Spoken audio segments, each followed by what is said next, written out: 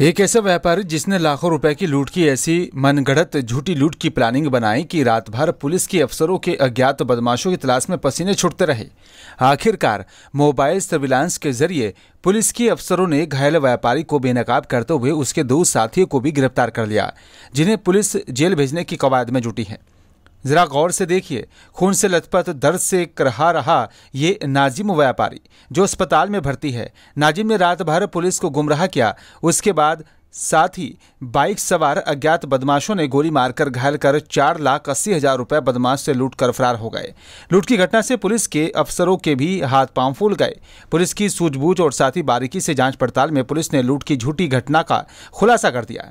Police के हत्ते चढ़े ये इंतज़ार और साथी वसीम दोनों ने महज पंद्रह हज़ार रुपए के लालच में अपने दोस्त नाजिम के कहने पर लूट की झूठी वारदात को अंजाम दिया था।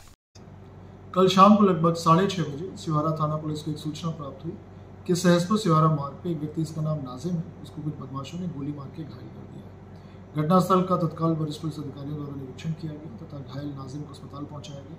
जहाँ उसका इलाज हुआ, उसने पूछताछ में ये बताया कि उससे गोली भी मारी गई, तथा चार लाख अस्सी हज़ार रुपये उससे लूट की गई है। इस सनसनीखेज घटना की अत्यंत बारीकी से जाँच की गई तो तथ्य प्रकाश में है कि नाजिम पर जसपुर उत्तराखंड के रहने वाले दानिश के पंद्रह लाख रुपए बकाया थे, और दानिश अपने पैसों की मांग कर रहा था, नाजिम टाल मटोल कर रहा था।